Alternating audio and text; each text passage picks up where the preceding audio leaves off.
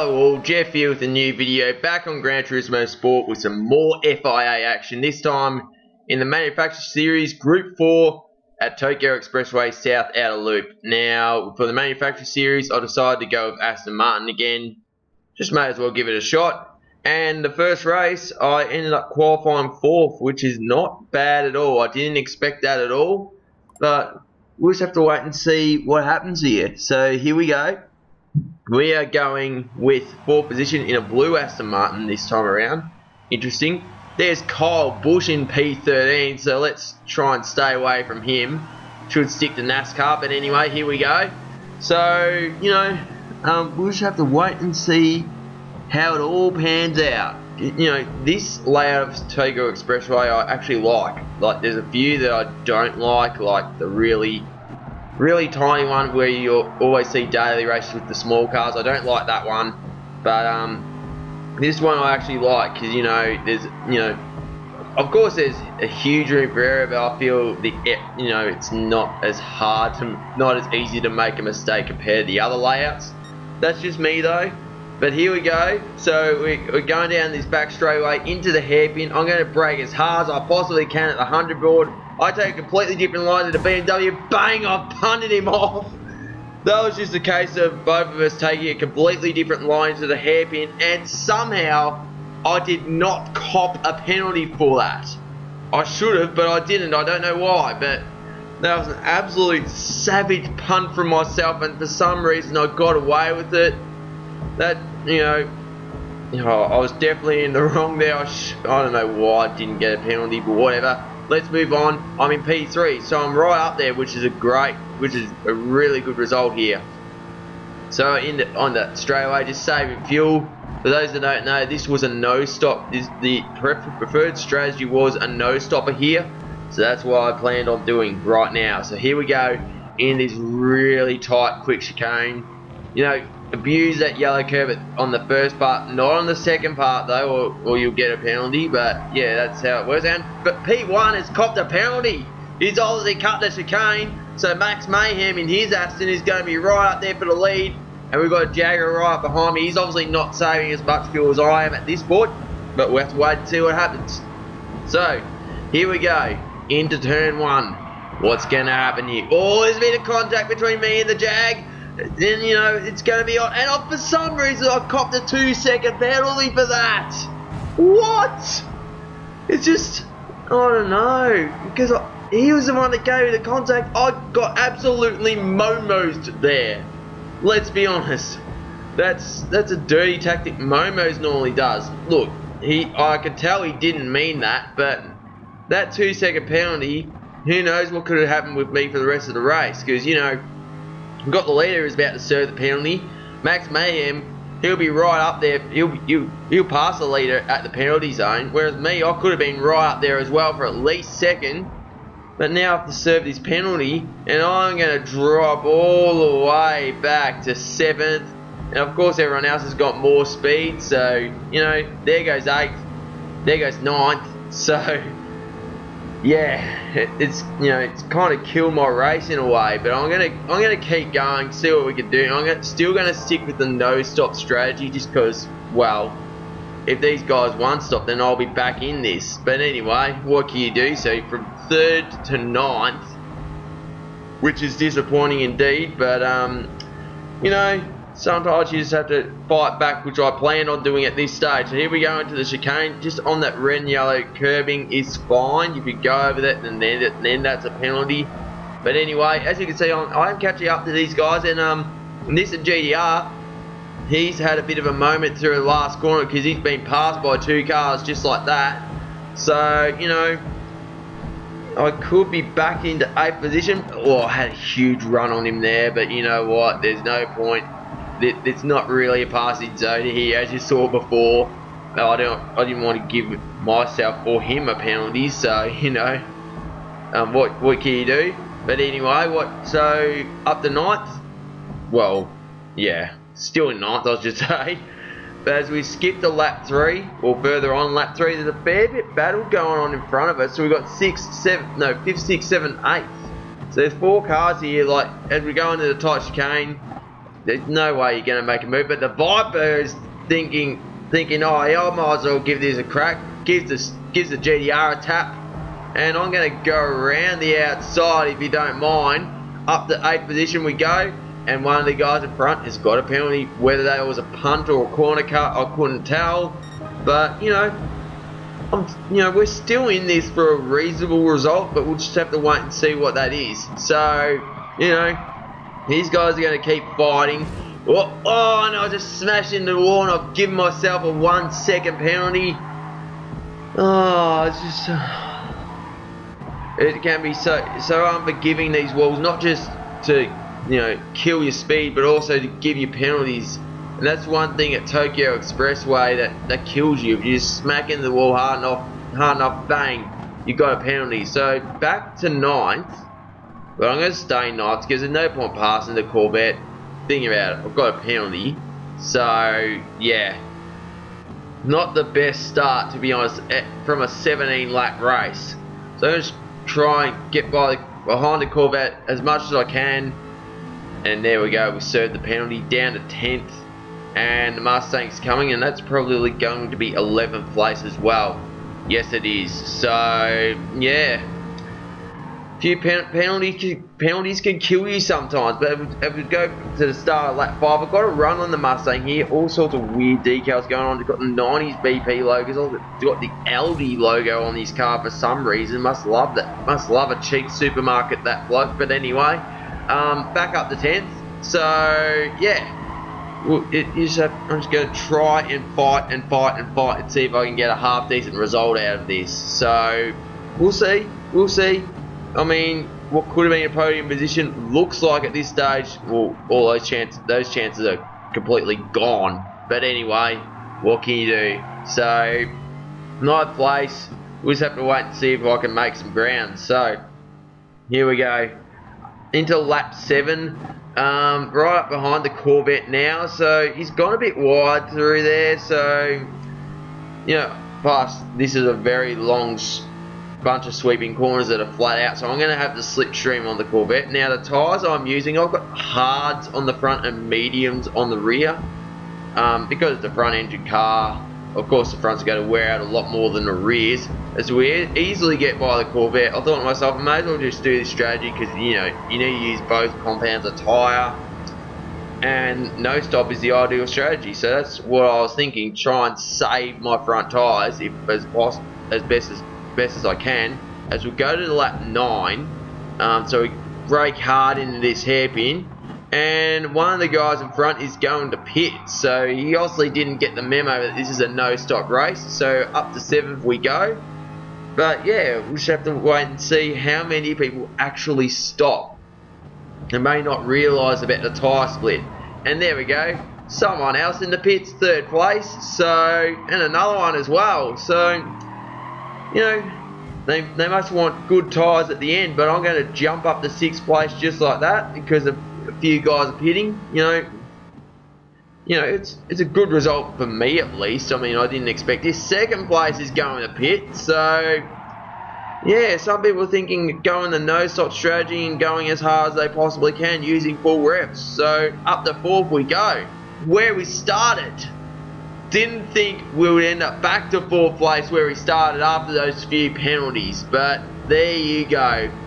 Um, that's what happens when you do a preferred strategy and others don't have a clue. So as we skip the lap 12, um, we're just trying to figure out what's going on here. I think there's a car right behind me, so we're going to be on the lookout for that as we go to the chicane. Abuse the first bit, not the second bit. Stay on the red and white, which is fine and his last corner's flat out most of the time. Slight lift. Yeah, there's, there's, there's someone. The Lamborghini's right up behind me, so I'm going to have to, on, have to be on the left lookout for him. He's obviously stopped. And plus the Lamborghini Huracan is a better car in Group 4 compared to the Aston Martin. In most tracks anyway. So Lambo just easily gets by me, so I'm back down to 5th place, but what can you do? Better tyres, probably better car as well, so you know, not much we could do there. So, you know, five laps to go. It's a reasonable comeback, let's be honest. But um, as we go to the end of lap 15, so still in fifth place, but um, we got someone else, you know, with a lot, lot better tyre life, obviously stopped. So we just have to be on the lookout for him as we start lap 16, two laps to go. As you can see, my tyres, they're starting to go. They're starting to go a lot, and it's a um, it's another Aston Martin, so definitely stopped from that point of view. To be honest, if I had mediums on the front and hards on the rear, well, I reckon my race would have been done. To be honest, because you know, there's you know there's not many corners you can spin out. Obviously the hairpin's one, but yeah. So we've got that Aston behind me. I thought myself at this stage, there's no point fighting this. However, I do have the inside, but I just know he's going to get a much better launch, and I actually got loose there too. So down to fifth, down to sixth place. But remember, having those few penalties just to be back at fourth at one stage, I didn't think it was going to happen. So you know what what can you do? It's it's a nice little comeback after um, an unfortunate turn of events, but um, you never know. These two, the Viper and the Aston, they could be bat, they could fight at the end of the race, and that you know if there's penalties applied to any of those two cars, I could gain a position just like that. So we'll just have to wait and see. But um, I'm still there, and the Viper, I feel he's probably done a no-stop strategy as well and he, he, he, seems to be struggling a lot more than me. The Aston has given the Viper a shove, uh, so the Viper's been given a slight little boost, but um, Aston's going to get the slipstream here, so he might think about making a move at turn one. Let's see if it happens. The thing is, he's got the entire lap to make to make a move on the Viper. Final lap we go. So, is he going to make a move on the Viper? He's actually on the inside and he's giving him a tap, another tap and the Viper's in the wall, and the Aston has got himself a penalty. Four seconds worth, so I'm going to be back into at least fifth place after once he serves the penalty. Um, and plus the Viper, I feel his tyres are a lot worse off than mine, so I could end up back in the fourth place before the end of this one. So, what a turn of events that is. So, brake hard. Oh, he's actually made it very easy for me, to be honest. So, up the fifth. And now we have the Aston who is about to serve his four second penalty. So I'm going to go back up to fourth place. I did not think this was going to happen at all. You know, had a few costly penalties. You know, first off, I punted someone at the hairpin, didn't get a penalty. Then I got given a shove and got a penalty. So, you know, it hasn't worked that well for me. Then I got another penalty for glazing the wall. While I started fourth, after those penalties, I did not think I'd get back up to fourth place. So it's, a, you know, to be honest, you know, fought hard, hard as I possibly could, and somehow fourth place. Yeah, it's not a podium place, but to be honest, if I didn't have these penalties, I probably would have been battling for the win. But you know what? After all that, I'm gonna take this, take this result because you know it just shows that you just don't give up in, in, in dire situations. So here we go, crossing the line, just enough fuel to get to the end, and yeah, fourth place. And Max Mayhem in the other Aston ended up winning it. So well done to him.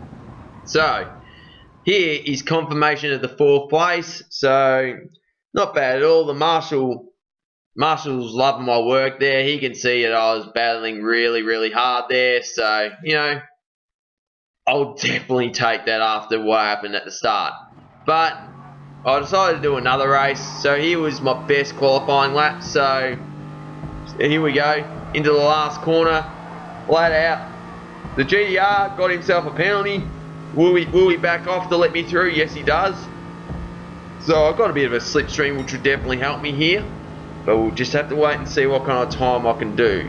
So, you know, this was the only, this was my best qualifying lap and it was the be the first one I did in the 10 minute session. So, I'm going to need to improve that if I'm going to keep doing these FIA races is just to, you know, try and improve on my first flying lap. Because, you know, your first flying lap is not going to be it's not going to really get you up to the front considering the fuel is going to you're going to you know burn a lot of fuel so anyway, here we go, into the tight hairpin. Don't have to worry about punting anyone this time around, so that's a good thing. However, we do have these two cars in front, so if I can get the slipstream from them, then well, that's going to help me out. It's going to help me out in a huge way. So we'll just have to wait and see if, if they battle it out. It's something you don't want to do in qualifying. But am I close enough for the slipstream? I might be getting some kind of slipstream, so it's definitely going to help. And you know, I for some reason I didn't feel like I was getting the most out of the car. Maybe I wasn't burning enough fuel before I did my flying laps. Well, what can you do? Yeah, these two are fighting in front of me, so you know, um, we just have to wait and see if they punt each other off or whatever happens. But we're going to this tight chicane. How do I take it? Oh, very nice. Very, very nice. On the verge of penalty, penalty central, but luckily it was clean still. So here we go. Getting slipstream again, which is really going to help me here. So, and it will end up being a 139.4. To be fair, I was the first to do, a flying lap there. But as you can see, um, that was the end, and I'd end up starting third place. So that is a very good result. But we're going to start this race. There I am in third place in a blue Aston Martin. Here we go. Countdown is on, and we're off. So, third place. Let's see what we can do with this. Now, Rosmo is in fifth place, the guy I punted by mistake in the previous race. So, we'll have to be on the lookout for him. But, um, you know, he does have a car car in front of him, so you know, you know that's going to give me a bit of a bit of a safety net in that sense. But um, we'll just have to wait and see. And I'm right up there with first and second, so you never know what's going to happen, especially after the hairpin with that long, with that long straightaway in the quick corners. You just have to wait and see um, how we go. But anyway, we go into the hairpin, breaking it hard as we possibly can. And here we go. Here we go. And I've been given the punt by the BMW. There's a revenge punt. oh no. Down the eighth we go. This time around, the BM has been given a penalty. Something I should have been given the previous race. So, and because of where he copped the penalty, he's going to have to serve it on the next lap. So, oh, yeah. And looking at this footage now, I really should have copped the penalty um, in the first race. But anyway, and we got Max Mayhem right behind me now as well. So he's he also had a shocker of a qualifying session. As myself and the Jag, you know, there's a playing bit of bumper cars right now. There's no, oh, I've actually made the move through the chicane. That's actually a very brave move from myself. Uh, but anyway, so still in 8th place, should be in 3rd or at least 2nd, but what can you do? Rosmo, with his penalty, thanks for punting me off. Um, you know, it just feels up so unfair that um, I, I didn't get a penalty. But anyway, so it looks like it's a 4 second penalty as well. So, anyway, not the best of results, eh? And Rosmo is just all over the joint. He's obviously um, feeling the pressure from the Mazda 6 behind him. But, um, yeah, didn't expect expect this to, to pan out like it did. Because, it, you know, I had a car between myself and Rosmo and still managed to pump me off. But anyway, what can you do? So we go into lap 2, braking hard into the hairpin. Here we go. Ooh, slight bit of contact. But, um, you know, Rosmo's about to serve his penalty, so I'll be up to 7th after this. So here we go. He's about to serve the penalty right about now. There we go. So he's gone. But to be fair, I probably would have, you know, happily had the penalty instead of getting given a penalty by someone whacking me the next lap. But here we go. Mazda Atenza. Oh, I've been just giving him a slight push. There was nowhere for me to go around the outside and make the move stick. But anyway, seventh place it is. But um, yeah, it was just a case of what if. But third place is still there. So you know, if if everything pans out, then I might still be able to get back into the position I started in. That's really nicely taken through a chicane, by the way. But yeah, um, so we'll just have to wait and see what happens here. As we're about to finish lap two of 17 um, you know, still up there with his battle for third place. So, you know, if there's a bit of contact, people get penalties, people might get spun around. Well, you've seen how easy, how easy that can happen to someone um, like me and Mosmo, Rosmo, sorry. But um, we'll just have to wait and see um, what happens here. Because 4th, 5th and 6th are right there. I'll just give them the wall a slight glaze. No penalty this time, luckily, because it's the inside. But um, we're, we're going to take the um, the slow in, fast out approach to this hairpin. So here we go, braking nice and hard, taking the late apex with a hairpin. But Corey Maxman has given me a whack, whether it's because of the contact from lap one before, I don't know, but I've been punted again. And I've just done a nice 720 and I'm down to 18th position out of 19. Oh, this race has gone from bad to worse.